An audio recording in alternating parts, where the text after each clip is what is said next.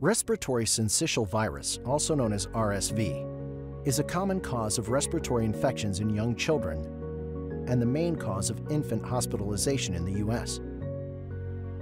But did you know RSV infection can cause serious illness in older adults? So what is RSV? RSV is a pneumovirus. RSV particles have a plasma membrane envelope surrounding viral RNA and proteins.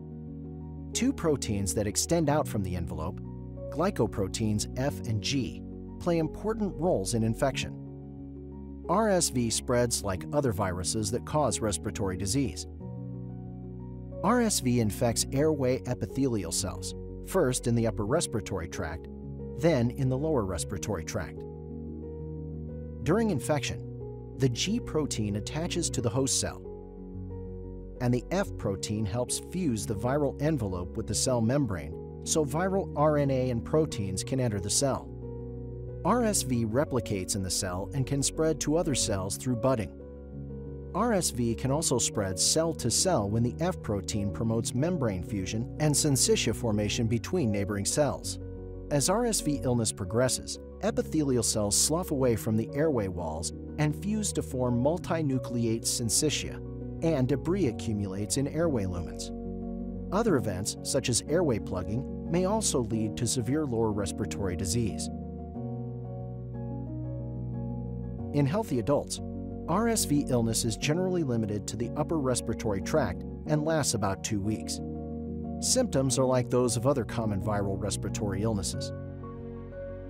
Adults aged 60 years and older have higher risk of severe RSV associated lower respiratory tract disease and hospitalization. In addition to age greater than or equal to 60 years, some chronic medical conditions and residents in long term care facility are associated with the highest risk of severe RSV illness in older adults. RSV can also worsen some existing medical conditions. RSV is a major cause of respiratory disease in infants and children younger than 5 years old, but it causes more hospitalizations and deaths in people 65 years of age and older. There are no specific treatments for RSV in adults.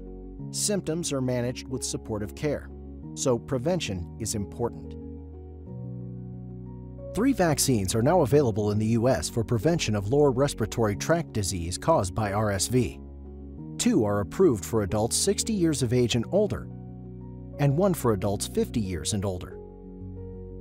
These vaccines lead to immune response against the RSV-F protein and prevent lower respiratory tract disease in older adults.